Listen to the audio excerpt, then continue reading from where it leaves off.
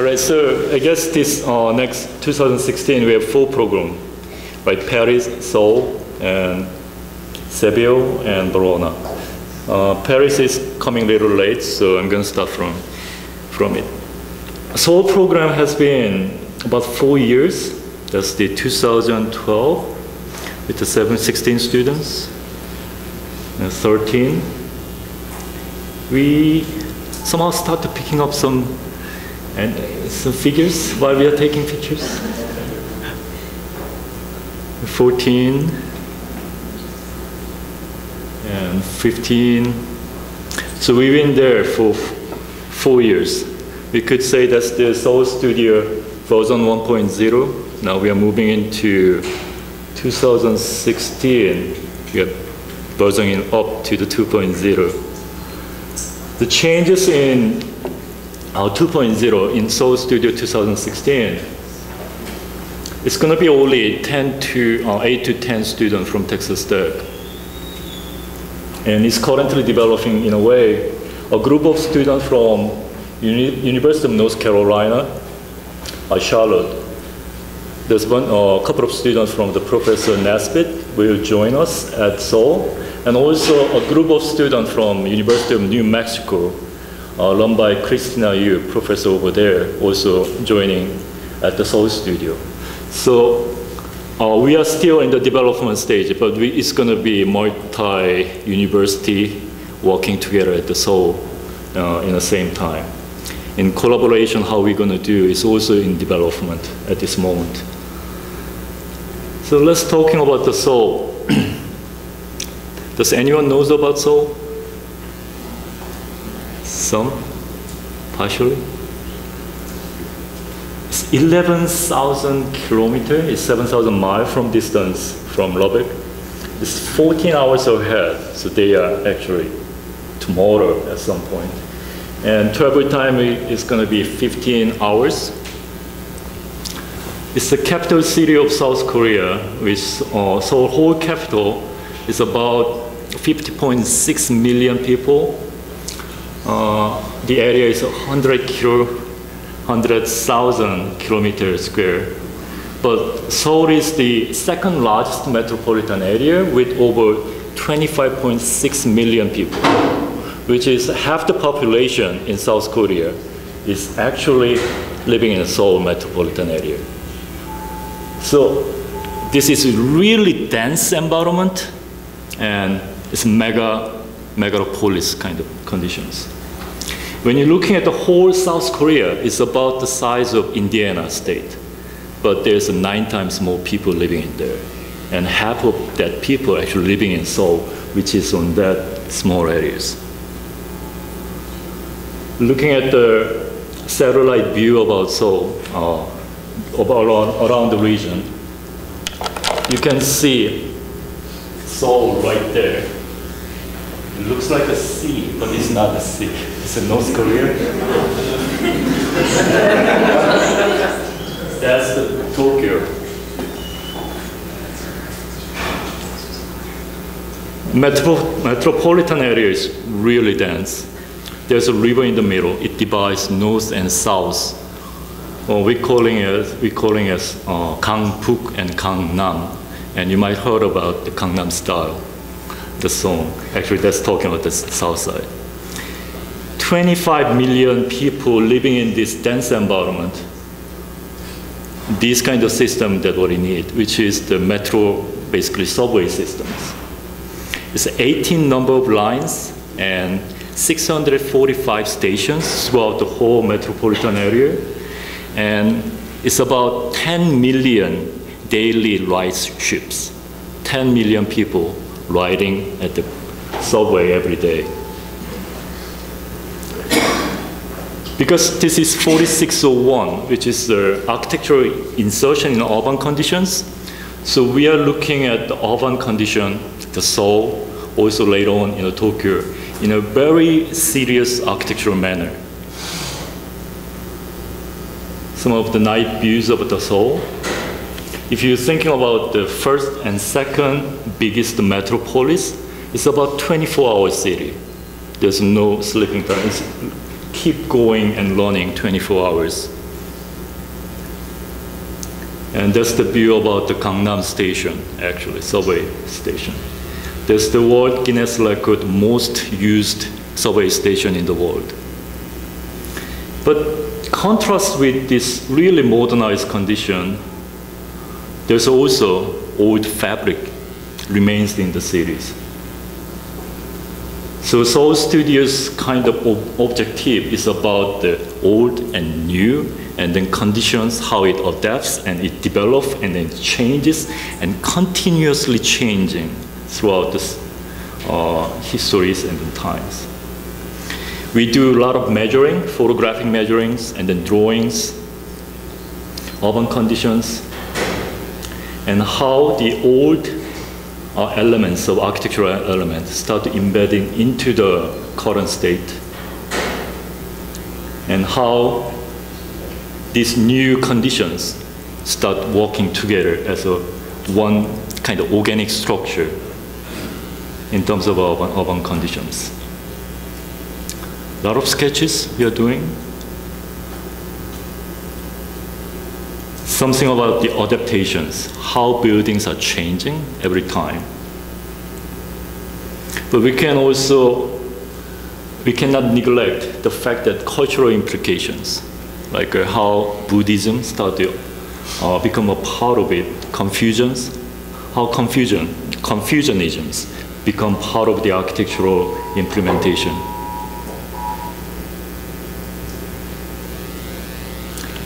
When you guys are arriving in May, it's about the time there's a Buddha's birthday festival. So we like to visit temples and then how these things are becomes a part of the city.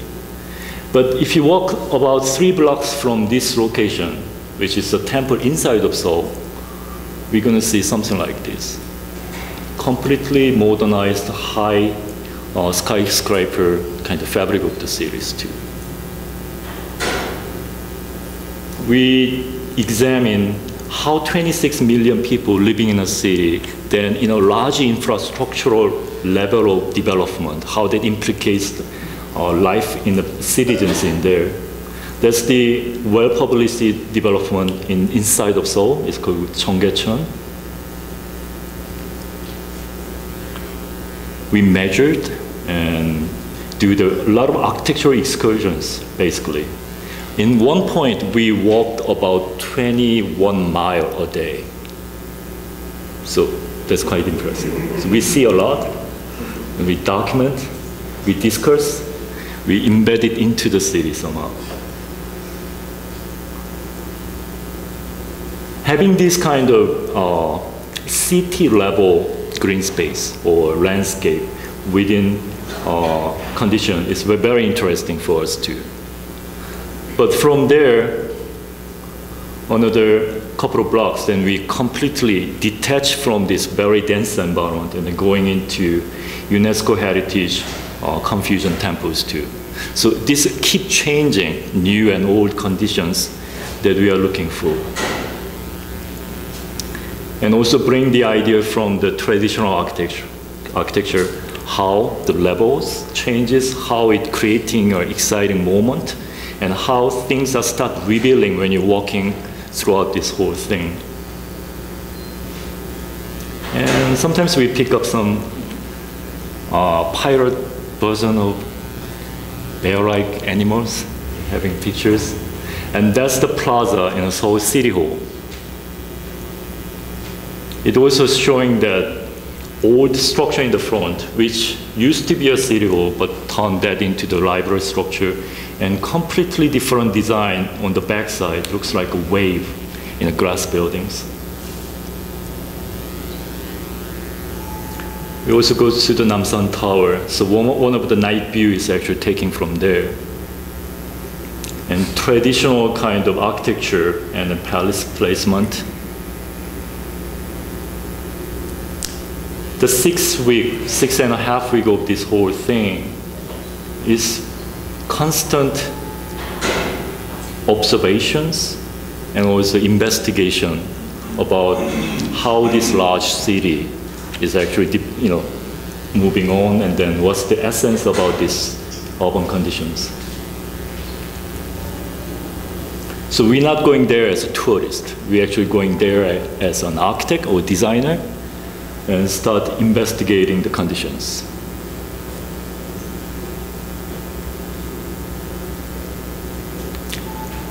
These are the preserved traditional stuff. And then we also visit many, many places that how the traditional architecture is become revitalized into the contemporary conditions. The areas that is constantly changing, actually showing the good example of how the old structure changing to the new. And even these kind of complicated roof line and everything become modernized in a way, how, be, how it modernized in a way, really minimalistic conditions too. So you can see the alleys like these conditions. Very complicated, a lot of infrastructure, uh, electric lines and then those kind of things, but also opposite kind of conditions. This is our ride, which is the subways. We're using that almost every time in Seoul and Tokyo. And also uh, investigating like real infrastructures. It's a multi-level highway on top of it, subway go underneath it, and then there's a park below to it, and like how this vertically things are, you know, working together. On a weekend, we also go to architecture excursions to the couple of different places. So this is six week is basically a six day studio a week actually. Monday from Monday to Friday we walk at the studio and go to the so like go to the city and then investigating. Saturday we go a little bit further and then looking at a couple of architectures over there too. There's an architecture, uh, architecture in uh, Anyang art villages. This is done by Kengo Kuma. I think some of you might know. It's a very well-known Japanese architecture. What Japanese architects believe as a second Pritzker Prize can be coming to the Kengo Kumas. And MVRDV, uh, Dutch architects, it doesn't matter if it's rain or not, we just go and then enjoying. We also pick up uh, strawberry girl and watermelon boys, take a photograph together. Another excursion is called Heyri.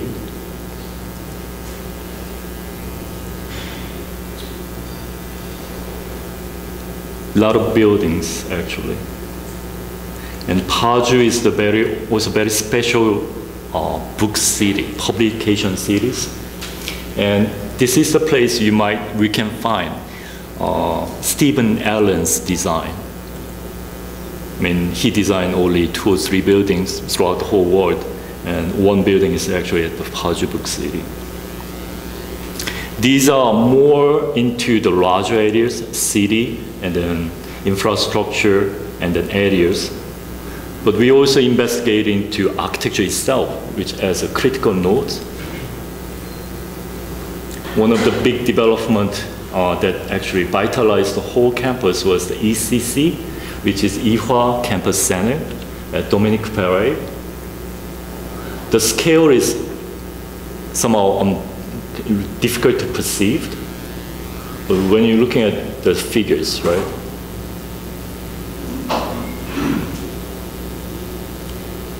very unique condition, which is OMA, Rem Koolhaas and then Jean Nouvel and Mario Botta designed one thing, but it's actually three separate buildings, three separate museums. And how old thing become transformed into the new areas, which is, it used to be a water purification areas, but that becomes an ecological park really well designed conditions there too. Everything was underground with the covered with concrete, but they took it out and then revitalized into the ecological part. It took about 60 years actually uh, those kind of plants start growing up because of all the toxic chemicals it used to be there. Sensible architectural insertion into the conditions. But it's not only the big move, but the textures, how that works well with the overall design conditions. Architecture is strange discipline because sometimes we documenting restrooms. That's the one of the old uh, tank, but they cut it out the portions of it and then turned it into the restroom conditions. Oven kind of promenade, bring it into the buildings. Uh, very interesting design by Moon-Kyu Choi. And we can also see really early, like 1990s and 80s work from Morphosis in Seoul too. But also a brand new design from UN Studio in, completed in 2014 actually, Galleria Center City. The whole building is covered by LED screen and it changes in projects, uh, many things but also old structure, how they're turning into the new structure. A lot of layering and uh, translucency, transparencies. Another UN studio buildings.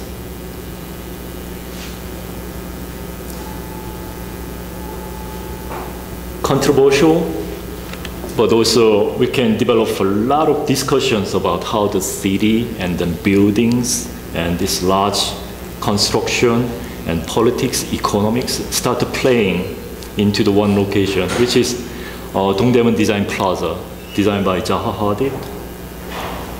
This building is so massive, you cannot actually take it by one camera. Last year was uh, kind of, uh, we are lucky because there was 16 architecture uh, school in Seoul, they did the installation over there. So we got to see that and then talking with Korean students about the architectures. About two, from, uh, two block from here is 1980s old buildings. So again, playing with the old and new and how uh, city is developing is the big agenda for the Seoul studios inside of the Gyeongdong State, uh, Gyeongdong Church. And new buildings, uh, rising kind of star in a Korean architecture group, which is called Mass Studies. So we're looking at the city and our architecture as a architectural node conditions. When you're talking about the city, the culture cannot be ignored. Buddha's birthday, there's a big parade in the Seoul. Especially this lantern, it becomes really vibrant.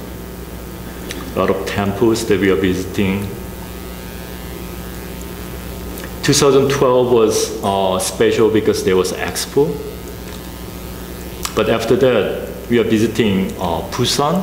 We also have a collaboration with the Dongseo University. So they're giving us a tour about the Busan.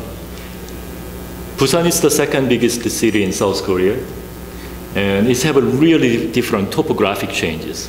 So how the topography affecting the building and affecting the formation of the uh, city and the urban condition is the big uh, concern about Seoul studio too. So in here, the steep hill conditions, how the building blocks start to developing throughout the whole uh, mountain areas.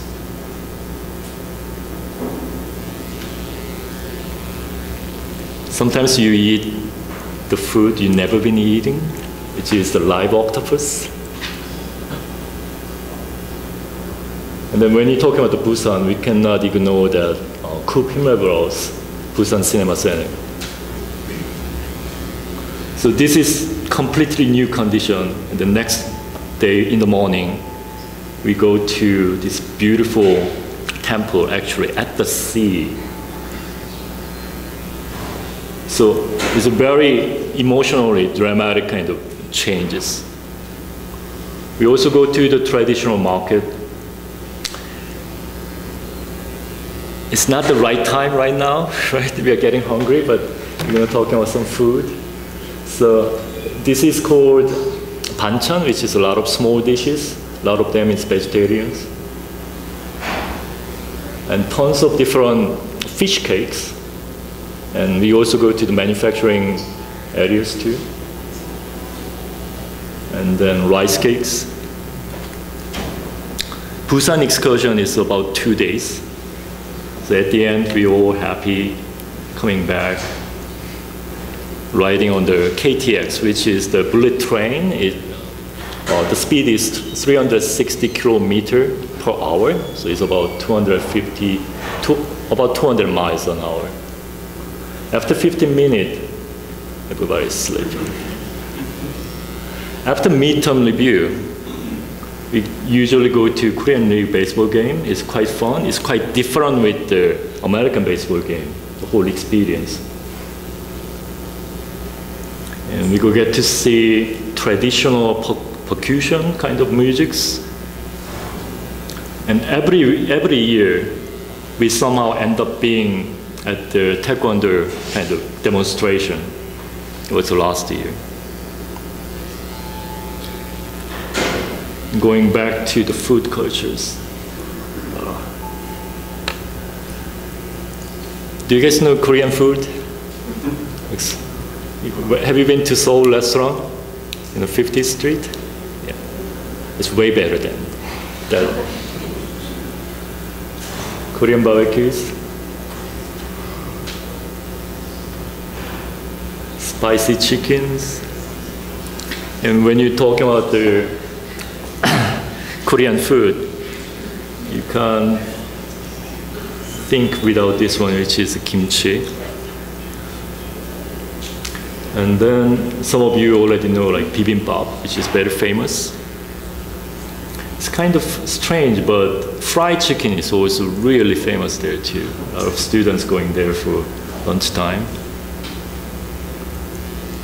And very, it's kind of fatty pork belly. Usually came from the Jeju Island. It's very special pork for the dinners. So we bring all of this into studio. And then we also work really hard, as you can see from the back of this uh, screen, all of the presentations. That's the studio space you guys will be using for in 2016 too. We make physical models, but not, uh, not the building model, but ideal models. When you do the reviews, so get uh, presentations, it's, it's a formal reviews. We invite seven or eight different architects and then educators from the Seoul, Uni Seoul and then also universities. This is a 2016, uh, 15 uh, presentation. We made posters and then postcard. We uh, reserved the gallery and we also presenting there formally. But you guys worked so hard until that moment. We're also having a lot of fun in the presentation too.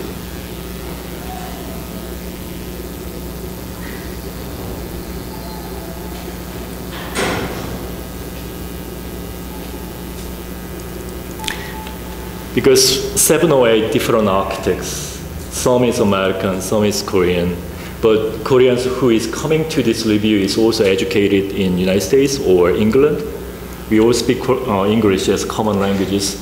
And at the end, it end up being usually talking about the city and then architecture and all of different forces like political, economical, how it kind of implicating architectural conditions in the cities. So it's a really exciting moment. Right? Final review is not you know, ending point, but this actually opens up the other questions too. If there is an architectural venue in Seoul, we're also going there too. So last year, actually 2014, do you, do you know who is that guy with the white glasses? Yeah, we met Toyo at the presentation. And we see his presentation, we talk to them, and he actually talked to us. Like when you go come to the Tokyo, you can visit the offices. But at the time, we, when we went to the Tokyo, uh, he was out of Japan, so we couldn't get there. That's the host university, which is Konkuk University. So after this intense five and a half week of the studio, we go to Tokyo. It's the italic and little t stands for Tokyo.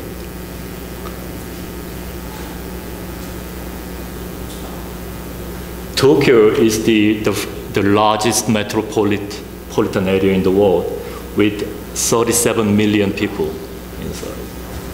So this is the view that you're gonna see on the day you arrive in Tokyo. We go to the Tokyo Metropolitan Office uh, observation deck and then seeing the whole cities.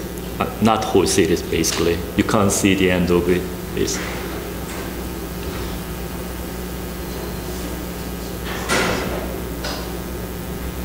And also going into the, the biggest seafood market, which is Tsukiji market. And then we can have some nice breakfast, sushi or sashimi. Some might have a gold flake on top of it. It's also, it could be a really uh, unique experience because Tsukiji market is moving. They are closing this and moving into the other location. So 2016 is the last, last year we can actually go walk around the Tsukiji market and then eat breakfast sushi over there.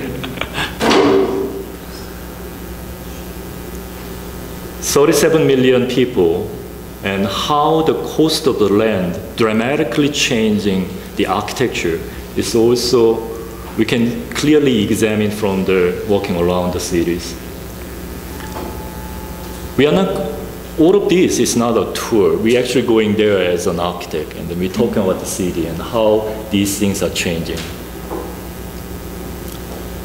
Some of you already know this Nakagin capsule tower by Kisho, there's a type of Kisho Kurokawa in 1980s. Kind of key example of the metabolistic movement in know, Japanese architecture. And Tokyo International Forum by Rafael Viñoly. Some of you might already know this from the structure books. And Renzo Piano, Hermes Ginza. These kind of elevations somehow deceiving us because when you're looking at the actual size of that glass block, you can see it's, it's a, it start to losing the level, start to losing every floors and becomes different animals.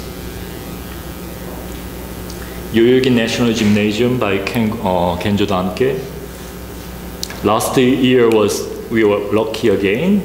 So because there's there's a baseball uh, basketball game inside, so we can go inside and then see interiors too.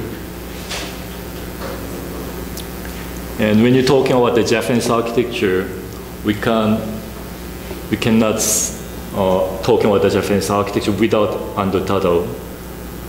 Design 2121 in, in, uh, is an exquisite kind of building.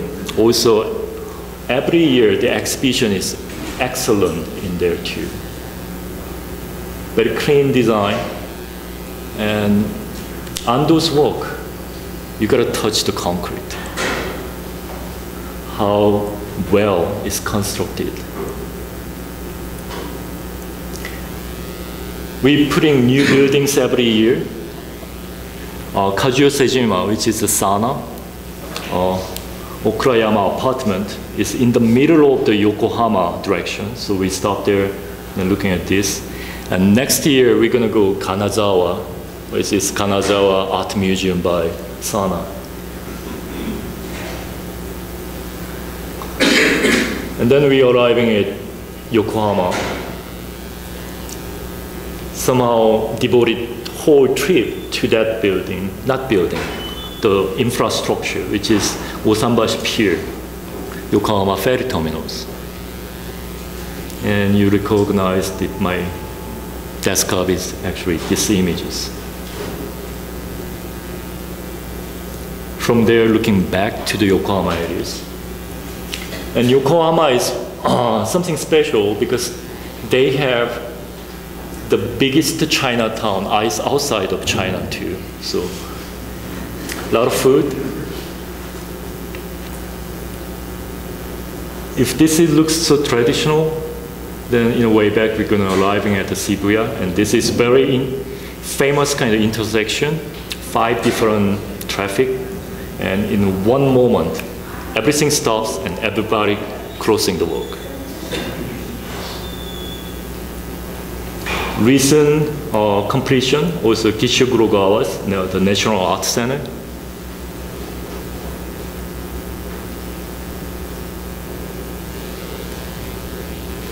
Even in Japan, we placing old and new kind of conditions. We go to Asakusa too. But in here, upper uh, left corner looks like a wood slate. That's the brand new building by Kengo Kuma too. It's Asakusa Cultural Tourist Information Center.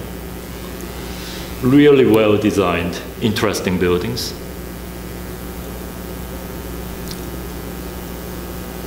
A lot of buildings actually in Tokyo we are go going and visiting. We usually start starting our excursion at like 8.30 and then we go until like 9 or 10 at night. Because we got to see the building at night too, how the light and then things are changed based on the day, night, day and night conditions. Very simple, but really complex design by Ando Tadao's Collezione. A new addition to our excursion was this uh, also newly built Nezu Museum inside of uh, Tokyo by Kengo Kumas. And last year was, uh, this year actually, this year was lucky because after this visiting this museum, we go and then actually went to the Kengo Kumas office, and that's the conference room at the Kengo Kumas office. And Kengo Kuma was in Tokyo for three days, and then he actually, he was really generous, give us 10 minutes to talk with them and then a couple of questions. So that's the, uh, his private library collections. It's very exciting, actually. So, the Seoul Studio 2016 T you can see a lot of information. Our website is already up.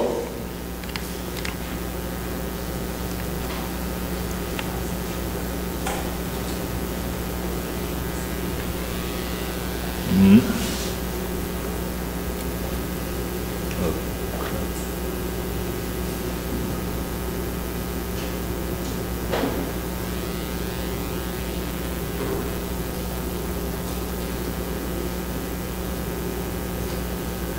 our program fee and everything is already set.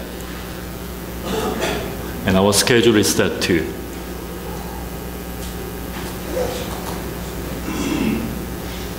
And this is the studio website. You can see all of the previous projects too.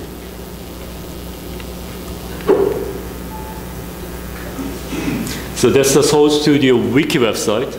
You can see the uh, website name And then there's the Seoul, Seoul Studio uh, website.